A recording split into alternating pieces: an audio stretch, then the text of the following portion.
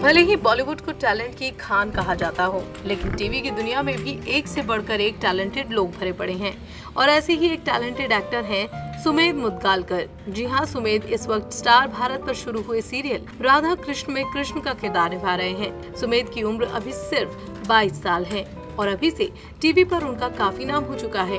कृष्णा की भूमिका में लोग उन्हें बहुत पसंद कर रहे हैं। तो आइए जानते हैं कि सबको दीवाना बना रहे टीवी के इस नए कृष्णा के बारे में कुछ अनजानी बातें। स्टार भारत के सीरियल में तो सुमेध कृष्णा का किरदार निभा रहे हैं, लेकिन बहुत कम लोगों को पता है कि कृष्ण के किरदार में बांसुरी साथ रखने वाले सुमेध सच में अच्छी बांसुरी बजा लेते हैं।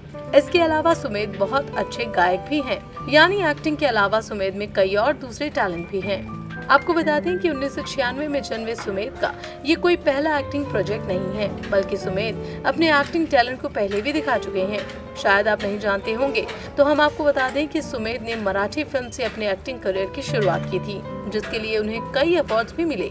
इसके अलावा सुमित बॉलीवुड एक्ट्रेस माधुरी दीक्षित के साथ भी काम कर चुके हैं। अभी फ़िलहाल कृष्णा के किरदार में सुमित को काफ़ी पसंद किया जा रहा है। तो अब आपको कैसा लगा टीवी का ये नया कृष्णा? कमेंट सेक्शन में ज़रूर बताएँ। साथ ही इस शो के बारे में आपकी क्या है ओपिनियन, ये भी हमें ज़रूर लिखिए।